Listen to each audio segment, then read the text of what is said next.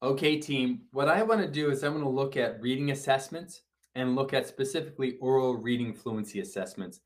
And we're going to we're going to talk about oral reading fluency and look at it where we where we look at a student read a text in context and we look at their oral reading fluency and look to see how they read those words in context. And we're also going to look at a student's oral reading fluency and we're going to look at how they read the words um, and their oral reading out of context when they read words in isolation.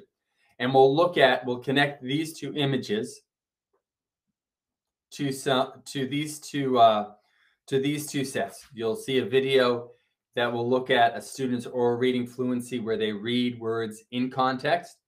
And this will be connected to an, the, the next video involving students with oral practicing and assessing oral reading fluency where they read a list of words in isolation meaning they're they're going to read the words and then we're going to look at the student's oral response and see if it's accurate or not.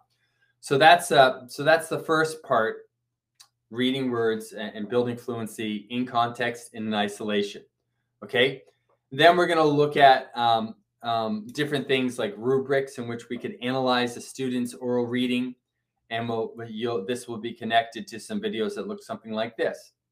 A rubric of a student's oral reading we'll look at these, how they did based off of this rubric, this sort of this grade sheet.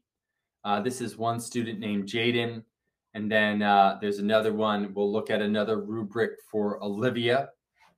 Uh, and then, uh, so, so this is in, an, and this is going to sort of lead us to getting ready for our first essay. Okay. So once again, in this section right here, we're going to talk about, you know, um, oral reading fluency in evaluating a student's oral reading fluency in context. And we're going to look at their oral reading fluency when they read words in isolation. And in this section, we're going to look at a student's, you know, a, a grading of a student's oral reading fluency, looking at a rubric like this one for Jayden, and this one here for um, this one here for Olivia. Okay.